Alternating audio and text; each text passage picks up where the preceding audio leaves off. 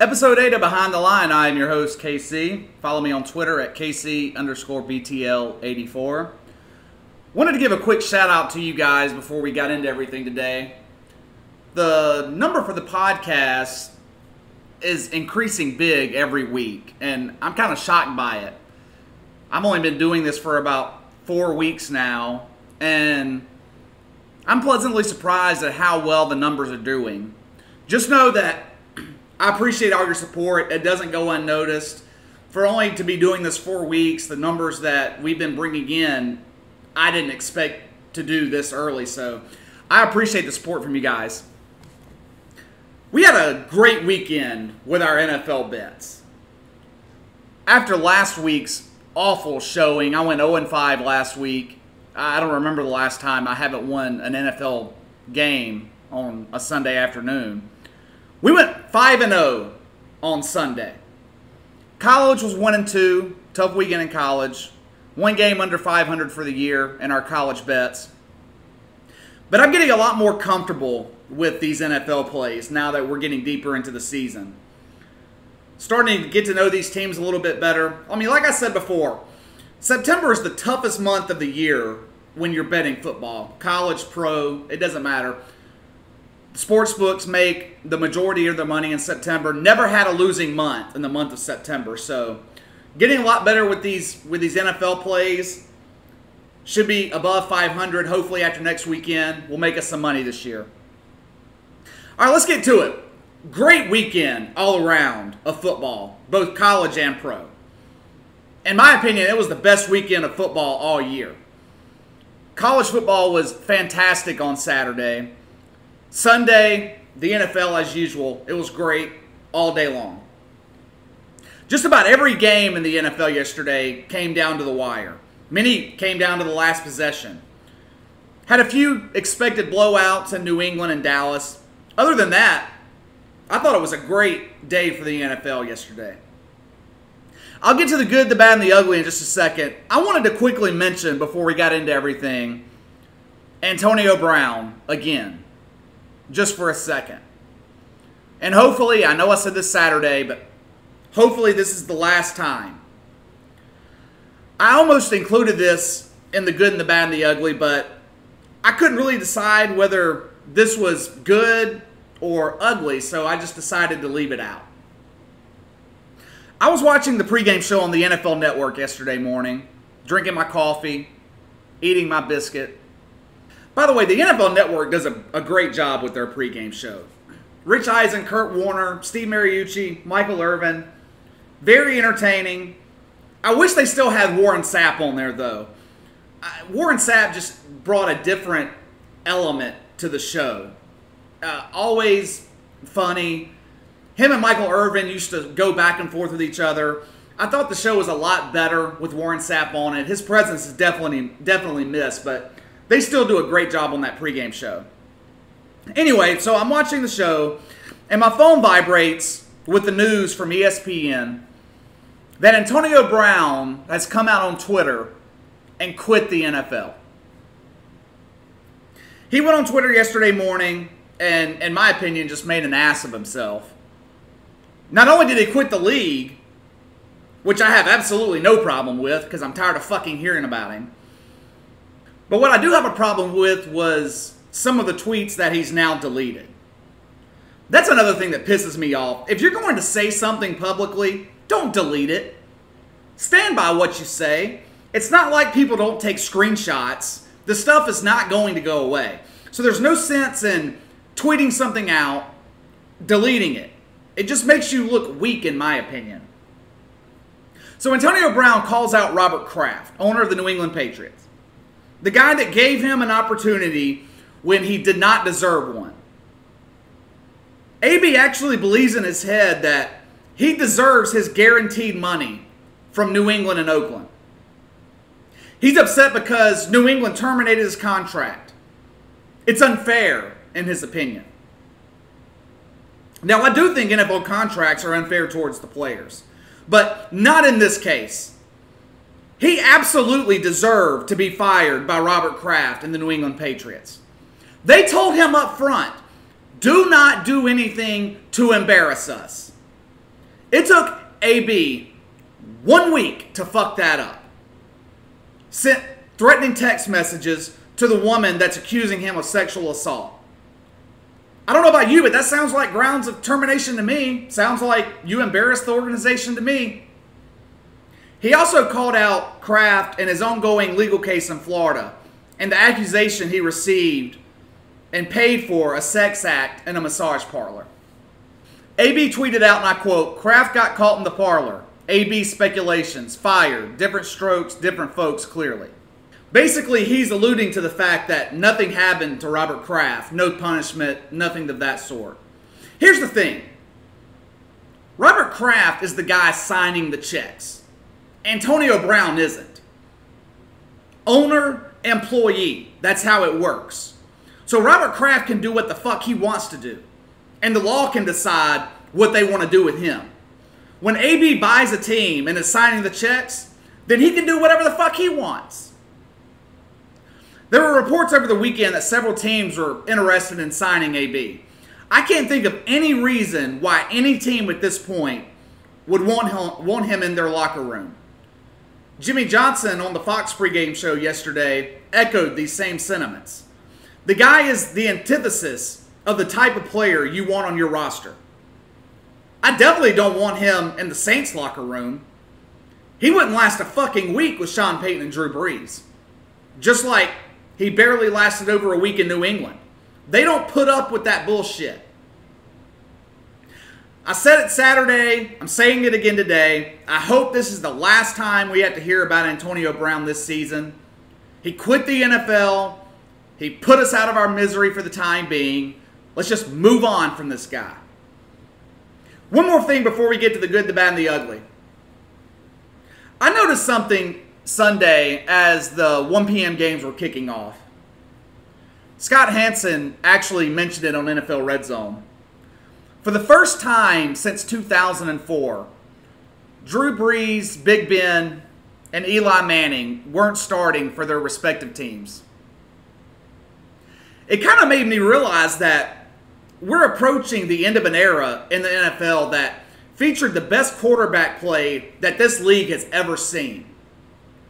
We've been spoiled and have taken for granted how great this group of quarterbacks have been the past 15 years. I mean, think about it for a second. Tom Brady, Drew Brees, Big Ben, Peyton and Eli Manning, Brett Favre, Aaron Rodgers, Philip Rivers, Tony Romo. Hall of Famer after Hall of Famer after Hall of Famer. I don't know in the history of the NFL if you've had this many legendary quarterbacks playing at the same time. Here's the thing once all of these guys retire, and it's coming sooner rather than later, who's going to replace them? Besides Patrick Mahomes, what other young quarterback is playing at an elite level? Lamar Jackson might get there eventually. Guys like Cam Newton, Matt Ryan, Matt Stafford will never reach that elite level. Kyler Murray's unproven. Deshaun Watson stays injured because his offensive line can't keep him on his feet. Russell Wilson is great, but I, I wouldn't put him on the same level as Peyton Manning, Tom Brady, and those guys. He's fun to watch. Carson Wentz is overrated. Jared Goff is overrated. The point being, once these guys retire, there will be a vacuum at the quarterback position in the NFL. I'm not convinced that these young guys can replicate what we've been accustomed to seeing the past 15 years. But I hope I'm proven wrong because it's been a, a great 15 year run for the NFL. Okay, let's get to the good, the bad, and the ugly for the best weekend of football we've had all season. Let's start with the good. I said on Friday's podcast when releasing my college football plays of the week that I thought Texas A&M was overrated. And that was a correct assertion. But I had to say, I'm thoroughly impressed with Auburn so far this year. They impressed me in week 1 beating Oregon, but going into College Station and one of the toughest environments in college football, not only winning, but Auburn dominated that game and kept that crowd silent throughout most of it. That is not a small task. Final score was 28 to 20, but this game wasn't nearly as close as the score indicates. This was total domination by Auburn from the first quarter to the end of the game. Defensively, they completely shut A&M down. The score was 21 to 3 going into the fourth quarter. A&M scored 17 points essentially in garbage time when the Auburn defense kind of went into prevent mode. Bo Nix was okay Saturday afternoon, but 12 of 20 for 100 yards, one touchdown. Auburn leaned heavily on the running game, mainly because at this point they have to. I understand they're a running team and that Nix is a true freshman. I get all that. But I'm a bit concerned with the Auburn offense. Nix struggles big time with accuracy. He's the prototypical game manager at this point. He didn't turn the ball over against A&M, and like I said, he is a true freshman. He, and he has grown every game this year. And that's all really Auburn has needed from him so far. But the schedule is about to get significantly more difficult. I think they'll be okay on the road at Florida in two weeks. Felipe Franks is out for the year. Florida isn't explosive enough offensively to really threaten Auburn's defense. However, they've got LSU, Georgia, and Alabama the last four to five weeks of the year. All high powered offensive teams. They're going to have to get more than 100 yards out of Bo Nix to compete, or it could get ugly quick. But props to Auburn for a big win on Saturday at A&M. Nice 4-0 start to the year for them. Notre Dame and Georgia put on a show in the marquee game of the week Saturday night. Even in the loss, I was impressed with Notre Dame. This this team came in as 14 point underdogs. And I was one of many that felt like this was going to be a Georgia blowout. I thought this was going to get ugly and fast. Notre Dame got behind double digits in the fourth quarter, but continued to battle. This game came down to the last possession.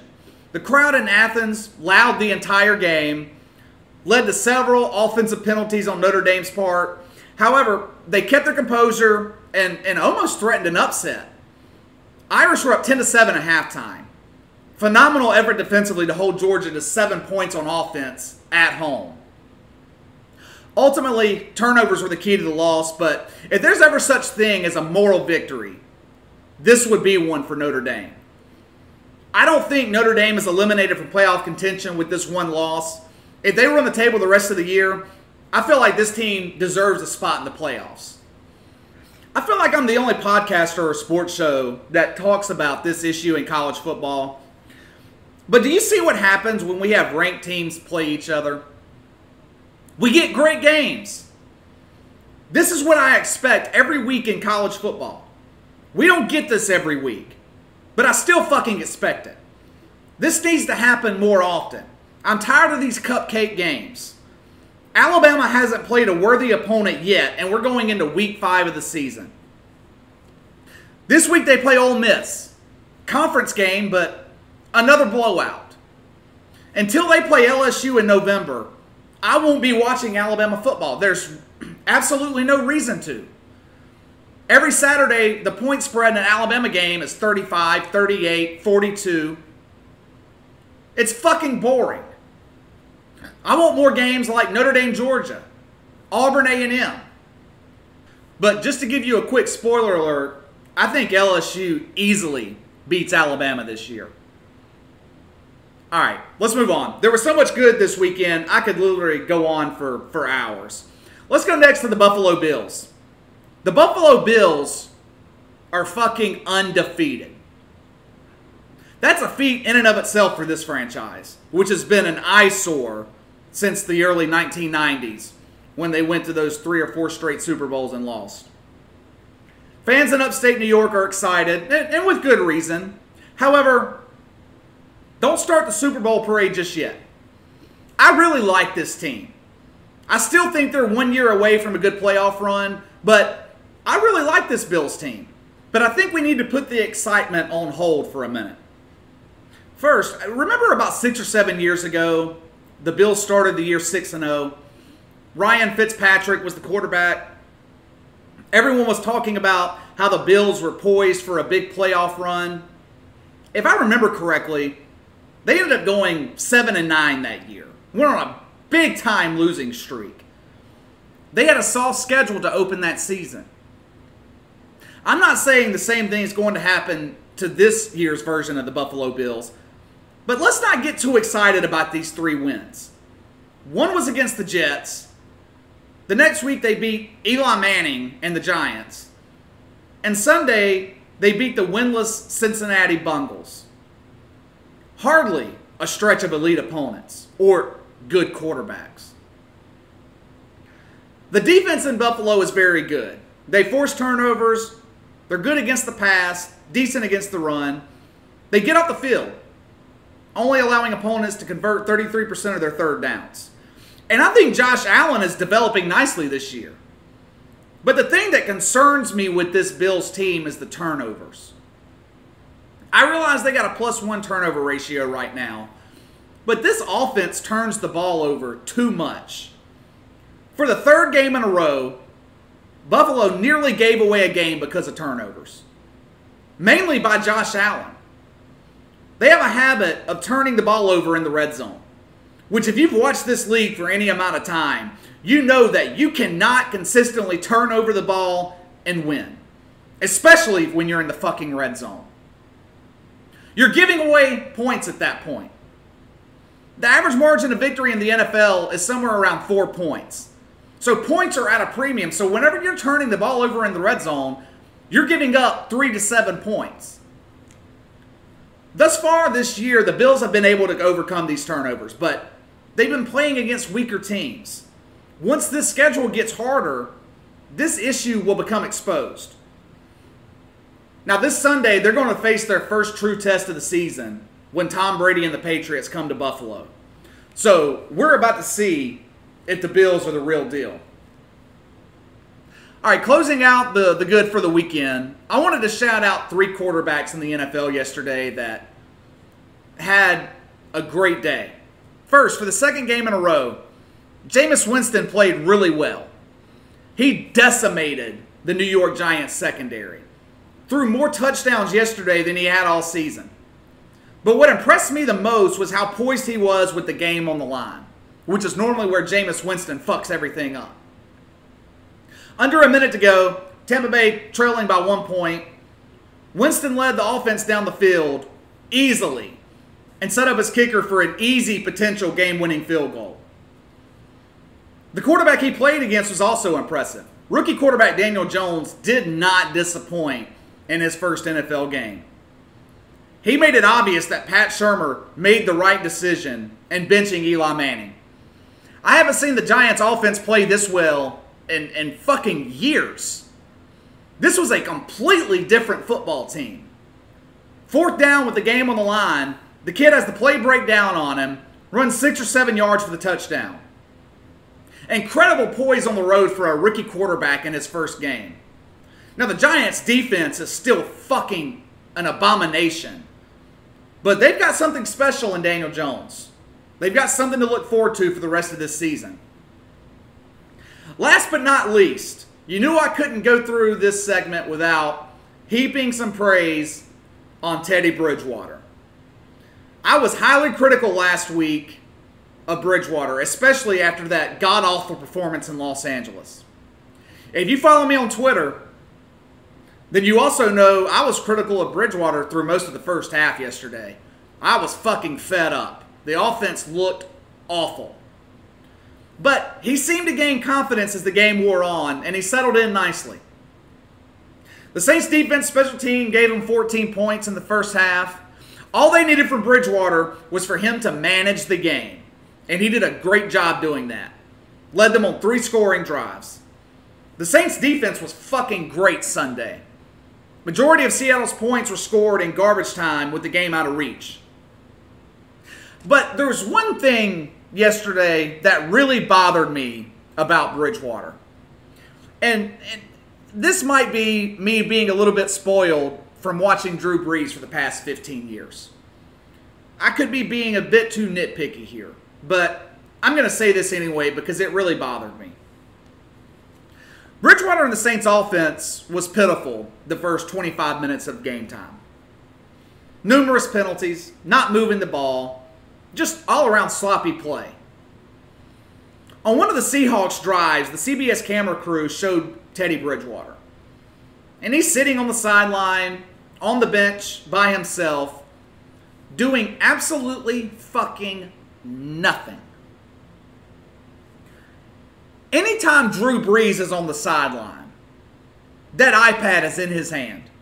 He's studying the defense. He's going over the last drive. He's looking for holes in the defense, looking for where the offense fucked up, talking to his other offensive players, showing them what's going on.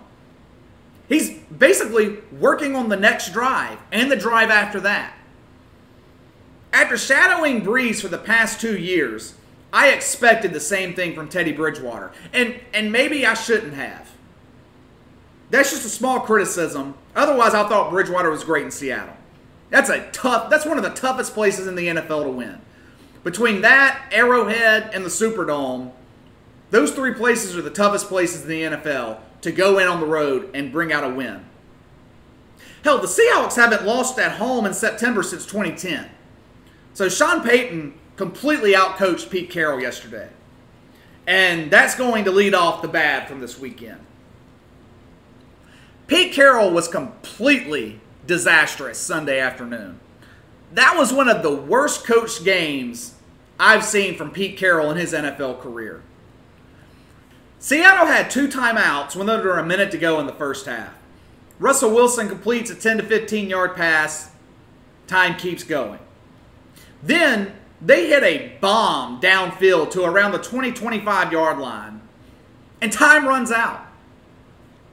First off, if you're going if you're not going to use your timeouts, then why not just kneel on the ball and go to halftime? I mean, literally there was like 25 to 30 seconds left when the Saints kicked the ball off to Seattle. Secondly, if you're going to try to get in field goal range, why in the fuck are you not calling a timeout after you hit the first 10 to 15 yard pass play? I mean, literally, they snapped the ball with maybe eight, nine seconds left, threw that long bomb. By the time the guy caught it and was tackled, there was triple zeros on the clock. Now, of course, Seattle tried to claim they called a timeout, but that was complete bullshit. There was no time left. Then in the fourth quarter, Seattle scores a touchdown to cut the lead to 13 points. There's a little bit under four minutes to go in the game at this point. It, really, the game's over with here, but you have a little bit of a chance to get back in it. But instead of going for two and cutting the lead to 11, Pete Carroll decides to kick the extra point. So now, instead of needing a field goal and a touchdown with a two point conversion to tie the game, you've got to have two fucking touchdowns in under four minutes. Against the Saints defense that had given you nothing offensively all afternoon. Pete Carroll made another bad decision right before the two minute warning in the first half. Seattle has the ball, fourth and one on their own 40 yard line. And Pete Carroll decides to go for it against the best run defense in the NFL. And he runs the ball straight up the middle. This completely changed the game. Actually, this is the play that lost Seattle the game, in my opinion. The Saints' offense had done nothing up to that point. Once New Orleans got this stop, the momentum of the game completely shifted. Bridgewater led the Saints on a scoring drive. It built up his confidence. After this drive, the game was pretty much decided because the Saints got on a roll. Seattle went for it several times on fourth down Sunday. They were one of four on their fourth down conversions. God awful. This is the type of stuff I talk about all the time in the NFL. These these mistakes that can seem not that big of a deal at the time, like the fourth and one in the first half. At the time, a lot of people probably supported him going for that. But Plays like that completely change games. In a league where the margin of error is so small, you make a call like that, you give the Saints all the momentum, and they took it and ran with it. Because after that, Seattle was not in that game the second half. They scored most of their points in garbage time when the Saints defense had kind of let up a little bit. Really, the Seahawks looked disorganized the entire game on Sunday. Running back Chris Carson seemed to slip and fucking fall every time he touched the ball. Pete Carroll couldn't make right decisions. I know a lot of people are high on the Seattle team, and I had them going to the playoffs in my preseason playoff picks. But right now, I, I just don't see it. I have not been impressed with Seattle through three games this year.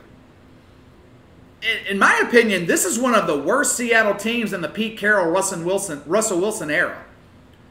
Defensively, they aren't as good. Offensive line can't protect Wilson. Russell Wilson spent the majority of that game running for his fucking life. Now, the Saints didn't get a sack because he's just that elusive. But it seemed like every time he dropped back to pass, the Saints defenders were after him. This team has a lot to improve if they want to make the playoffs, especially in the running game. Their running game was non existent against the Saints. But Pete Carroll has got to coach better if this team wants to make the playoffs. Next up in the bads for the weekend. What a fall from grace for Baker Mayfield.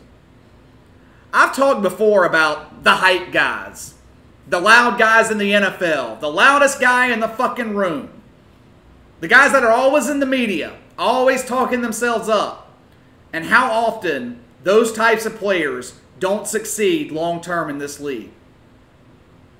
The successful quarterbacks in the NFL do their talking on the field, not off of the field. Over the offseason, Baker Mayfield was all over the place. I mean, this dude was in a million commercials. He was everywhere. He was everywhere except where he needed to be most, which was working on his game. Over the offseason, Lamar Jackson got better. Patrick Mahomes, believe it or not, he got better. Josh Allen and Buffalo got better. All these young quarterbacks in the NFL coming into their second year improved, except Baker Mayfield who's gotten worse. Right now, he's one of the worst quarterbacks in the league. With all that offensive talent around him, all we heard all season was how explosive this Browns offense was going to be. Baker Mayfield has found a way to decline. So far, he's completing 57% of his passes, three touchdowns to five interceptions. This Cleveland offense is averaging under 10 points per game. 10 fucking points a game for what was supposed to be one of the better offensive units in the NFL. Like I said, all summer, that's all we fucking heard about about this Browns team was how good they were going to be, how versatile, how dynamic they were going to be. They put up 10 points a game through three weeks. Now, I was skeptical coming into the year. I shared that with you on this podcast. For one, I've never really bought into Baker Mayfield being an NFL caliber quarterback. Secondly, I thought hiring Freddie Kitchens as the head coach was a bad decision by the Cleveland Browns ownership. I mean, this guy is unproven for one. And I thought they would be better off going with their defensive coordinator last year, Gregg Williams. But they let him walk because Freddie Kitchens was Baker Mayfield's guy. Look at the Browns' upcoming schedule. At Baltimore, loss. At San Francisco, loss. Seattle, loss. At New England, loss. This fucking team is going to be like all other Cleveland Browns teams. They're going to be 1 and 6 going into November. Fucking brutal. You could see this coming from a mile away. This formula never works in the NFL. It seems to me that Baker Mayfield is more interested in his public image, his endorsements, his commercials, attending award shows, than he is in winning. In college, you can get away with pure athletic ability alone. That can win you football games in college. Film study isn't as important. Your offensive schemes at the college level are a lot easier because you don't have as much time for preparation and also because the defenses just aren't as good. But in the NFL, you've got to put in the time 90 hours, 100 hours a week and prep for these games. You can't skate by on your athletic ability. Michael Vick found that out. But you can't do that and be a successful quarterback in this league. The defenses learn quickly. They were talking on NFL Network over the weekend how much better teams play against Lamar Jackson the second time they play him. Because it's true. They've seen him once, they know him a lot better. The defenses adapt quickly in this league. Remember the Wildcat offense? Back in 2007 when Miami was running it? No one in the league could stop it. That lasted one year. By 2008, every defense in the NFL had come up with a scheme to stop the Wildcat. I didn't understand the hype around Baker Mayfield last year. Anytime he played a team with a winning record, he lost. He's still yet to beat a good team, and this is his second year. I don't see this getting any better in Cleveland. I really don't. I couldn't believe when the so called experts were picking them to make the playoffs before the season began. I know we're only three games in, but I'm telling you right now, the Cleveland Browns are not making the fucking playoffs. This is a 6 and 10 football team, and I'm being generous. All right, let's get to the ugly. You know, I usually reserve this part of the segment for something egregious that happened, or normally it's mainly just for my complaints and for me to bitch about something. Really wasn't much to complain about this weekend, though. But if I were a fan of the Tampa Bay Buccaneers, I'd be complaining. As I said earlier, second week in a row, the Bucs played a great game. I mean, they really did. Jameis Winston was phenomenal. I mean, he looked as good as I've ever seen him look in his four-year career.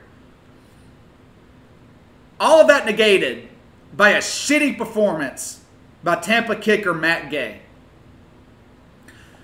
When you're a field goal kicker, you've got one job, you're paid good money to do one thing make field goals. That's it. Now, obviously, some are more difficult than others.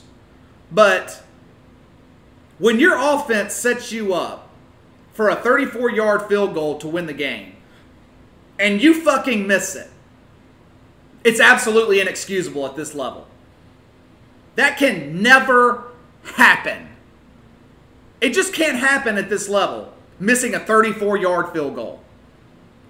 Not only that, he had a field goal blocked and he missed two extra points. It can't get that much worse for a kicker. For all intents and purposes, Matt Gay lost the game on Sunday for Tampa. Tampa ended up losing that game by one point. You add up his two extra points missed and his two missed field goals, that's eight points. Tampa should have won by a touchdown. It, they would have covered the spread. I realize that the Bucs had an 18 point lead in the second half. I get that. Defense let Daniel Jones and the Giants come back into the game. But to have your kicker lose the game for you, in my opinion, is just completely unacceptable. Is there really any point for the Miami Dolphins to play another football game this season? This team is unwatchable. There have been a couple of 0 16 teams in NFL history. Detroit Lions back in 08, Cleveland Browns in 2017.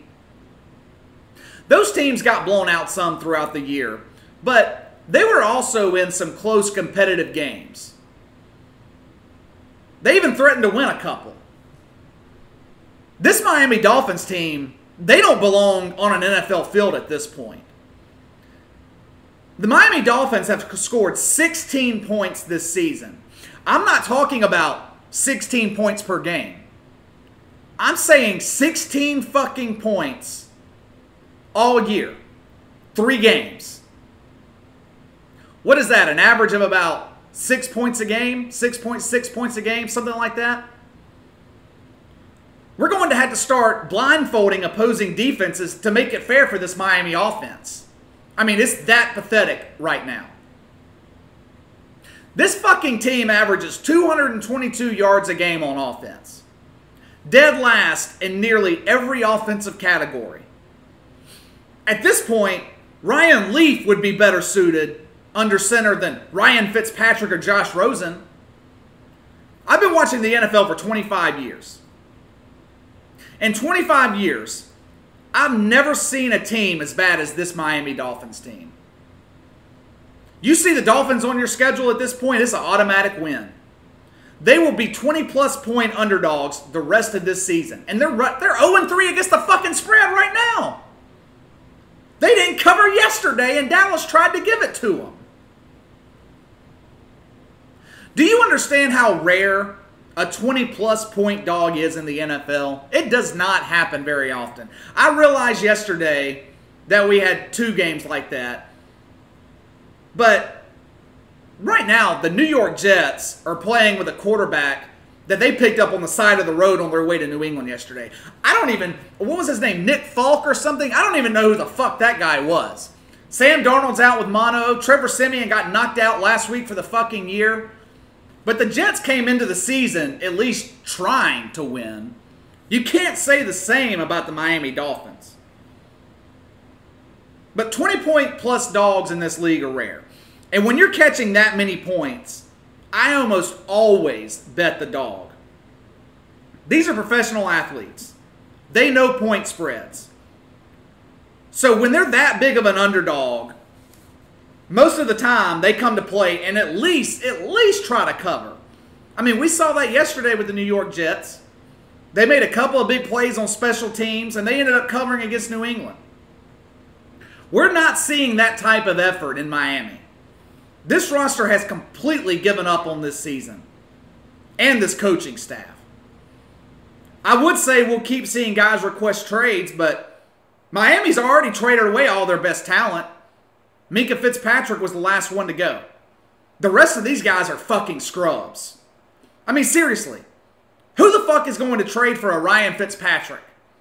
You want Kenyan Drake on your team? A guy that fumbles the ball every fucking time he touches it? Get the fuck out of here.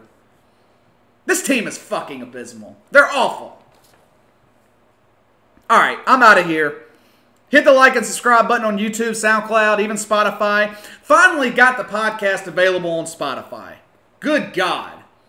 Took three weeks. It was a painful process. But I, I, will admit the Spotify customer service team was very helpful throughout. I will say that. But their sign up process is very uh, mind numbingly difficult. Give me that five star rating on iTunes. Leave a comment in the section below. Let me know what you think of the show. If there's anything you want me to talk about, anything you want me to discuss, let me know in the comment section or hit me up on Twitter at KC underscore BTL84. I'll be back Friday morning with news and college football bets for the weekend. As always, I'll come Saturday when my NFL plays coming off a 5 0 weekend in the NFL, so going to try to keep that up. Have a great week. See you guys Friday morning.